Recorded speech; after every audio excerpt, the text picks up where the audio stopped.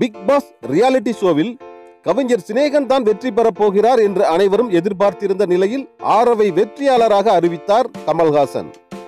சினேகனுக்கு கமல்ஹாசனின் ஆதரவு இருப்பதால் அவர்தான் வெற்றி பெறப் போகிறார் என்று ரசிகர்கள் எதிர்பார்த்திருந்தனர். ஆனால் பெண்களிடம் கட்டிப்பிடித்து தவறாக நடந்து கொண்டது சினேகன் மீது பெண்களுக்கு வெறுப்பை ஏற்படுத்தியது. இதனால் பெண்களின் ஓட்டு சினேகனுக்கு எதிராகவும் ஆரவுக்கு ஆதரவாகவும் விழுந்தது. இதனால் வேறு வழி இல்லாமல் சினேகனுக்கு ஆப்பு வைத்துவிட்டு ஆரவுக்கு வெற்றி கடையத்தை வழங்கினார் கமல்ஹாசன்.